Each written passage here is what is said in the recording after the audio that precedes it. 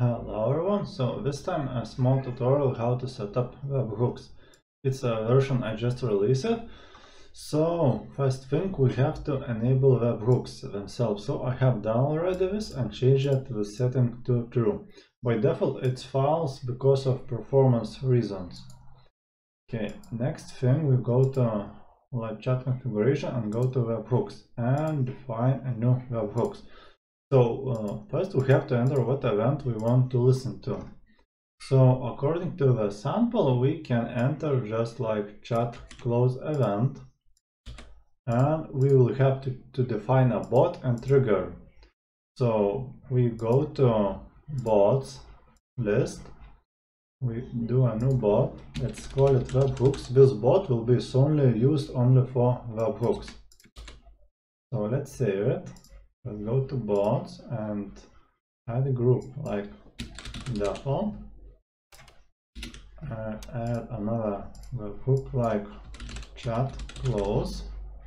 Let's save it. And for a moment that's enough for, for us. If we refresh, just so we see this and we see default event. We enter chat close and save it and we see uh, and that's all we need to do in this uh, part.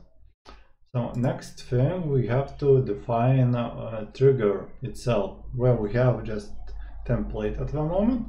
So next thing is to define a REST API call which we want to execute on chat close. So we go to REST API calls we define new call let's call it webhooks and description web hooks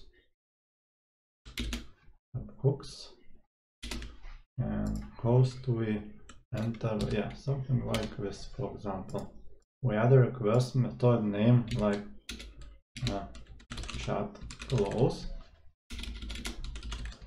so we want to send a post method sub url we do not need nothing. And in body we want to send it for example as plain uh, uh, JSON. And uh, at first let's send it just as plain text. For example if we enter something like message clean it should send all our messages. And we want to send for example uh, chat department id for example a chat department just just not chat. Department. We save and basically that's it if I did everything right. So next we go to this uh, bot configuration.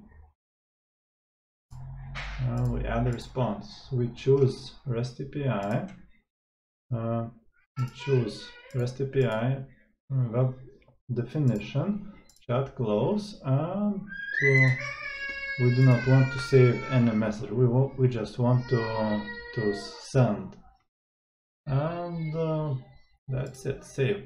So basically it should be that's it.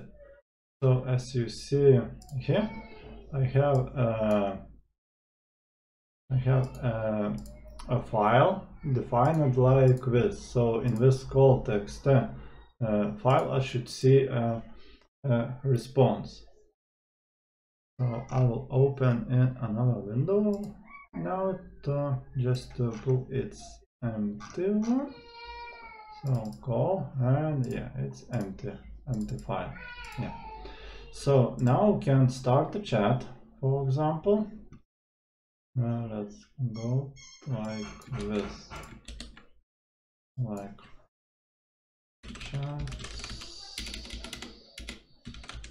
start. Okay, uh, let's, start the chat. Okay, chat was started. Let's write another, another message, third message. Okay, that's it. So now we can go to chat list, for example, and just close this chat. So chat was closed. Now we should uh, uh, have a call in this file. Execute. Let's open.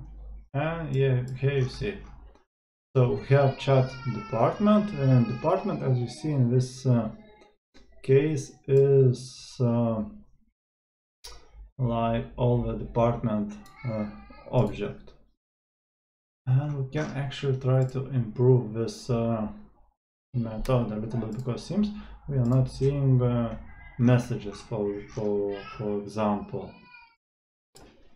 So let's update uh, this setting to something like this. So we have another variable as messages all. It's uh, available in definition of uh, uh, response types.